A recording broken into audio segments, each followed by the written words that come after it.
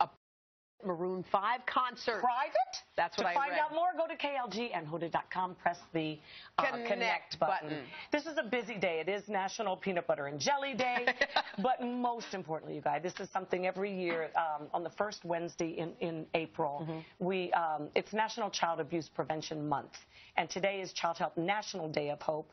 Uh, I used to go to it every Mm-hmm. every year. It's it's when we remember that now five children a day die of either abuse or neglect. And I, when I first started working with the ladies, Sara and Yvonne, I think there were two wicks for the two children. That, that these statistics are going in the wrong direction.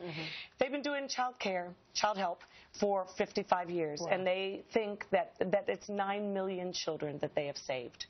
In that amount of time. So uh, just get involved if you can. And remember, uh, if you see something, do something about it. Okay? All right. Coming up, he hit uh, number one with his latest hit, and he's singing it for us. Country Yard.